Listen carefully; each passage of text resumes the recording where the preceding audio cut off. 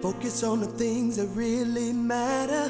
Focus on how they remember you. Focus on knowing they won't have to worry about all the things yet to do. When you prepare, it's such a relief. One less thing that can add to their grief. Focus on love, focus on love with Lucas. Lucas Funeral Home, where families come first.